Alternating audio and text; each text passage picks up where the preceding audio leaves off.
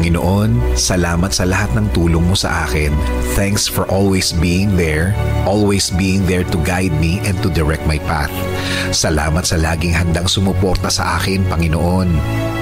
Panginoon, kayo po ang gagawin naming lakas. Alam po namin na kaya nyo kaming tulungan. Kaya nyo kaming bigyan ng solusyon sa aming mga problema. Problema na nagpapahina sa amin. Marami po ang mga dumadating sa aming mga buhay ngayon, Panginoon. Marami ang nagiging hadlang sa aming plano at mga pangarap.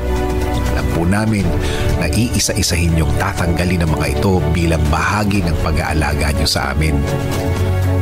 Panginoon, alam po namin na hindi na magtatagal ang mga nagpapahirap sa aming problema. We know these are just trials, trials that will make us stronger as a believer.